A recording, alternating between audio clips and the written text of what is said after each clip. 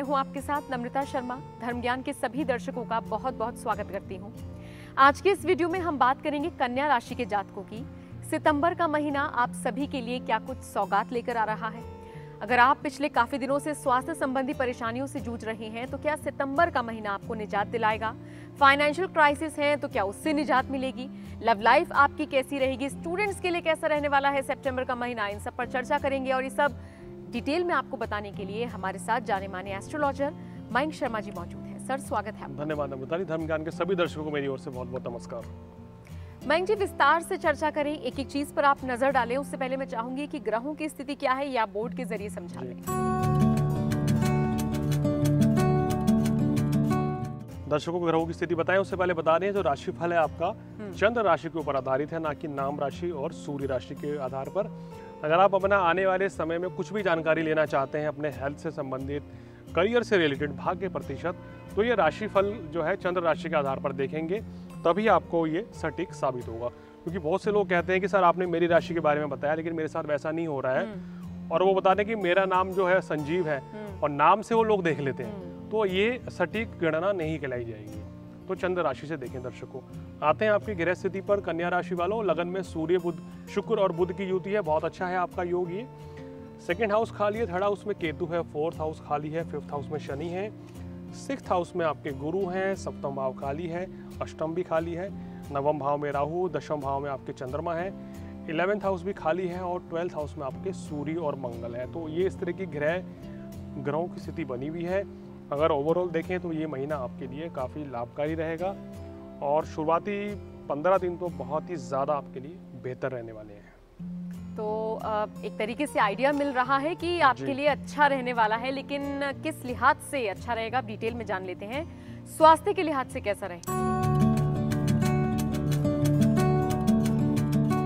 देखिए स्वास्थ्य के लिहाज से आपका जो वहाँ है थोड़ा सा शुरुआती पंद्रह दिन देखें तो परेशानी बढ़ सकती है। सेहत का ध्यान रखें। अगर आपको किसी भी तरह की कोई बीमारी है तो वो बढ़ सकती है। खासकर आपको गले छाती में कोई तकलीफ़ बढ़ सकती है और गुरु से संबंधित जो लीवर संबंधी या पेट संबंधी रोग है, अपचन है, वो बढ़ सकती है, क्योंकि गुरु भी छठे में है। हालाँकि ये शुरुआती चौदह दिन की दिक्कत है, उसके बाद ये परेशानी नहीं रहेगी। वो थोड़ा सा सावधान है मंगल, सूर्य की युति बारहवें घर में है। वाहन चलाते समय सावधानी बरतें, अन्यथा कोई रोग चोट दुर्घटना की भी आशंका है तो वाहन संभल कर चलाएँ। वाहन संभल कर चलाएँ। आगे बढ़ते हैं। अगर हम फाइनेंशियल स्टेटस देखें तो क्या कुछ संकेत मिल रहे हैं? देखिए, आर्थिक स्थिति जो है आपकी कुंडली में इस महीने काफ़ी अच्छी रहेगी और पूरे माह ही धन संकट कोई नहीं रहने वाला है। धन लाभ ही होगा। जो पैसा कहीं मार्केट में अगर रुका हुआ था या फंसा हुआ था तो वो भी मिलता हुआ नज़र आ रहा है। तो आर्थिक स्थिति के पॉइंट ऑफ़ व्यू से देखें तो बहुत ही अच्छा आपका समय है। अभी शुक्र का नीच के हैं, नीच भंग बन रहा है, शुक्र फिर स्वराशि के आएँगे, वो भी बहुत अच्छा है। तो कुल मिलाकर कोई चिंता वाली बात नहीं है, लाभ की स्थिति आपकी अच्छी बनती हुई नज़र आ रही है। बिल्कुल, आगे बढ़ते हैं। अगर हम स्टूडेंट्स की बात करें तो स्टूडेंट्स के लिहाज से कैसा रहेगा ये महीना? देखिए स्टूडेंट्स के लिए ये माह काफ़ी अच्छा है। छात्रों की शिक्षा परीक्षा में सफलता मिलेगी। विदेश जाने की संभावनाएँ आपकी बढ़ रही हैं अगर आपको एडमिशन लेना है आने वाले साल के लिए तो आप इस समय अप्लाई कर सकते हैं। आपको सफलता मिल जाएगी और कुल मिलाकर स्टूडेंट्स के लिए समय अच्छा ही रहेगा। बस मेहनत करते चले जाइए तो बड़ी सफलता आपको तभी मिलेगी क्योंकि बिना मेहनत के तो कुछ नहीं मिलता है। ये बात तो बिल्कुल सच है। चलिए आगे बढ़ते हैं। बात अब कर लेते हैं उन लोगों की जो नौकरी पेशा हैं जो नौकरी करते हैं और इसके अलावा जो व्यवसायी हैं नौकरी पेशा लोग अगर स्विच करने की सोच रहे हैं मयंक जी तो क्या समय सही है? और अगर व्यवसायी नए व्यवसाय को कुछ उठाने की सोच रहे हैं शुरू करने की सोच रहे हैं तो उनके लिए वक्त कैसा है? बिल्कुल कर सकते हैं माँ परफेक्ट है नौकरी पेशा लोगों के लिए महीना बहुत अच्छा रहेगा। खासकर जो लोग इंजीनियर हैं मीडिया फ़ील्ड से हैं उनके लिए विशेषकर ये महीना बड़ा लाभकारी रहने वाला है। नौकरी नई नौकरी के योग बन रहे हैं जो लोग बेरोजगार थे उनको नौकरी मिल जाएगी। राहु नवम भाव में भाग्य की वृद्धि कर रहा है। भाग्य के द्वारा आपको इस महीने निश्चित रूप से लाभ मिलेगा। काम कारोबार में बड़ा लाभ मिलेगा और काम कारोबार बढ़िया चलेगा तो आपकी आर्थिक स्थिति भी बहुत अच्छी रहेगी। नए कार्य की शुरुआत करने के लिए भी समय अच्छा है आपके लिए और आपका इस महीने बिज़नेस भी बहुत अच्छा चलेगा। तो कोई चिंता वाली बात नहीं, लेकिन खर्च भी ये साथ साथ यहाँ बढ़ाता हुआ नज़र आ रहा है, क्योंकि मंगल और सूर्य की युति बारहवें घर में है। तो आप सुख साधन पर खर्च कर सकते हैं या कहीं इन्वेस्टमेंट कर सकते हैं। लेकिन किसी को पैसा उधार देने से इस समय आपको बचना चाहिए। और अब बात कर लेते हैं लव लाइफ की। जो सिंगल हैं क्या उनको पार्टनर मिलने जा रहा है? जो लोग नए नए किसी रिलेशनशिप में आए हैं उनके लिए वक्त कैसा रहेगा? और साथ ही साथ जो लोग मैरिड हैं उनके लिए वक्त कैसा है? देखिए आपके पार्टनर के साथ आपका रिलेशन जो है कुछ ना कुछ खटपट रह सकती है। उसका कारण क्या है? मांगलिक दोष बन रहा है। और मंगल की दृष्टि आपके वैवाहिक जीवन पर है। तो ये थोड़ा ठीक स्थिति नहीं है, जिसके कारण जीवन साथी के साथ कोई मनमुटाव या छोटी मोटी नोकझोंक संभव है।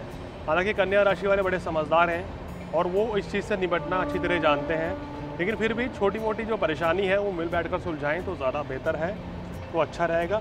प्रेम प्रसंग के लोगों के लिए समय बहुत अच्छा है, आपको लव लाइफ में सफलता मिलेगी, नए रिलेशन की शुरुआत भी हो सकती है। या आपका रिश्ता भी इस समय तय हो सकता है। तो कुल मिलाकर लव लाइफ में बड़ी अच्छी सफलता मिलेगी एक सवाल और मयंक जी मेरे जहन में आया कि कन्या राशि वालों को कौन सा प्रोफेशन ऑप्ट करना चाहिए ताकि उनको सफलता जल्द ही मिल सके? देखिए कन्या राशि वालों के लिए इनके पंचम भाव का स्वामी शनि है। ये तो कन्या राशि वाले व्यापारी ज़्यादा अच्छे देखे गए मेरा एक्सपीरियंस ये रहा कहता है। पंचमेश और दशमेश शनि हो तो व्यापार करना चाहिए। लोहे से संबंधित व्यवसाय करें बहुत अच्छा रहेगा।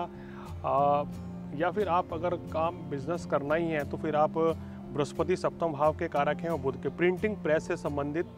या फिर आप धार्मिक पुस्तकों का काम स्टेशनरी का काम करेंगे कोई स्कूल चलाते हैं as a teacher as a principal तो बहुत अच्छा रहेगा, खुद का स्कूल भी कर सकते हैं। ये प्रोफेशन बहुत अच्छे रहते हैं, या फिर आपके लिए पत्रकारिता बहुत अच्छी है, बुद्ध के कारण, और आपके लिए कहीं ना कहीं आर्टिस्ट भी आप बहुत अच्छे होते हैं। तो ये प्रोफेशन जो इनके लिए बहुत ही शानदार कहलाए गए हैं। और कुल मिलाकर अगर हम भाग्य प्रतिशत की बात करें तो कितना रहने वाला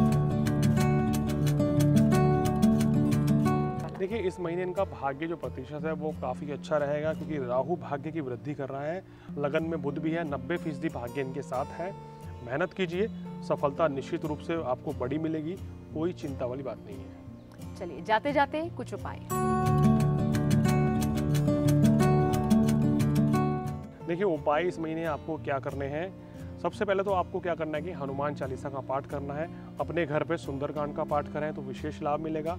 सूर्य को जल दें और उसमें थोड़ा सा हल्दी डाल दें और ओम आदित्याय नमः इस मंत्र का रोज़ जाप करें तो विशेष लाभ मिलेगा।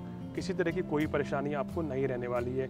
दूसरा क्या करना है, बृहस्पतिवार के दिन आपको क्या करना है हल्दी का तिलक माथे पे लगाना है तो विशेष लाभ मिलेगा।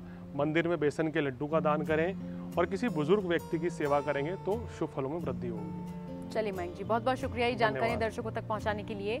इस वीडियो को देखने के लिए आपका भी बहुत बहुत शुक्रिया। कुछ और जानना चाहते हैं पूछना चाहते हैं अपना कुंडली विश्लेषण कराना चाहते हैं तो जो नंबर आपकी स्क्रीन पर फ्लैश हो रहा है उस पर आप कॉन्टैक्ट कर सकते हैं। कन्या राशि से पहले की राशि के जातक अगर अपने बारे में जानना चाहते हैं मासिक राशिफल देखना चाहते हैं तो पेज पर जाकर देख सकते हैं। और इन सबसे इतर भी अगर आप कोई सवाल अपने लिए छोड़ना चाहते हैं, जिसका जवाब आप चाहते हैं आपको मिले तो आप कमेंट सेक्शन में भी उसको छोड़ सकते हैं। बहुत बहुत शुक्रिया इस वीडियो को देखने के लिए। नमस्कार।